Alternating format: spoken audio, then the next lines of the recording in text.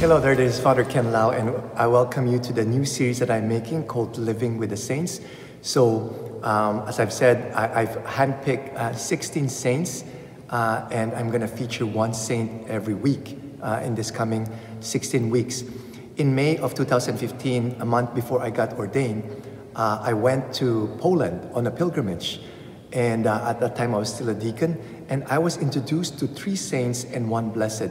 So, those three saints and one blessed, those are the one that I will feature in the first four weeks. So um, I was introduced first to Saint Maximilian Kolbe. All I know about Saint Maximilian Kolbe is that uh, he took the place of a fellow prisoner.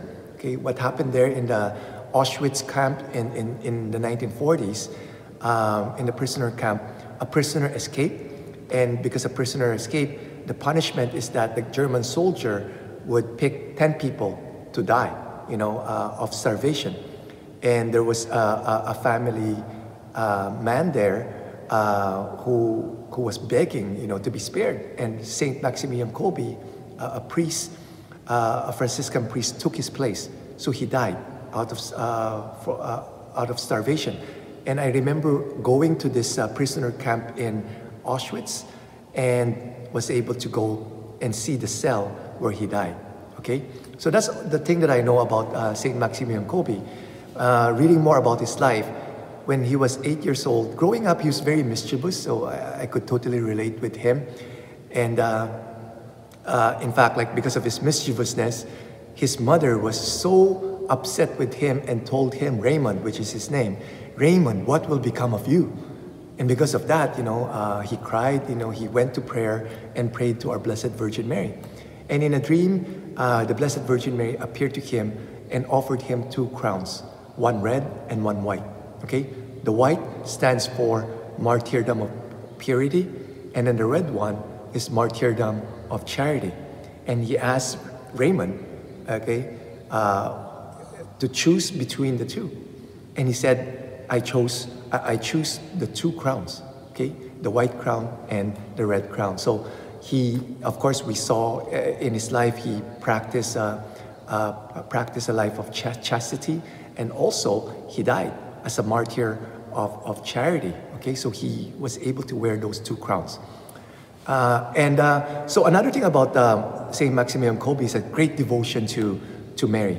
Okay, and propagate the, the devotion to her. He organized this called Knights of the Immaculata. Okay, and uh, so also uh, because of that, he was into uh, the social media, okay?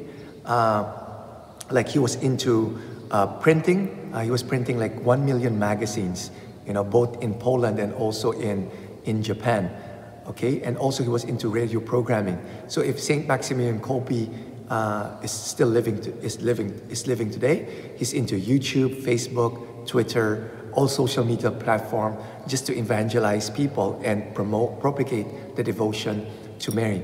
Because of her, his great devotion to Mary, he died on the eve of Assumption, okay, on August 14.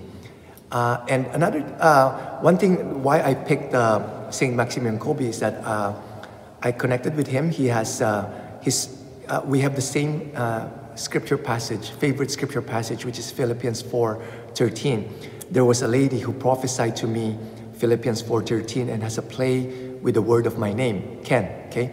And Philippians uh, 4.13 is I can do all things in him who strengthens me. I is Jesus, Ken, C-A-N is Ken, K-E-N.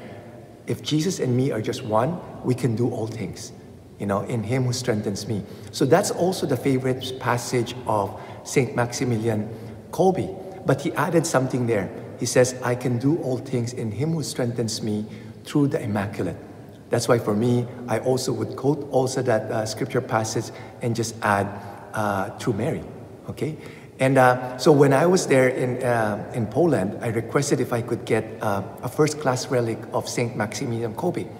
And, uh, and true enough, that on my ordination day, that was a gift given to me by the organizer of that pilgrimage. So I was given a first class relic of St. Maximilian Kolbe, which is his beard.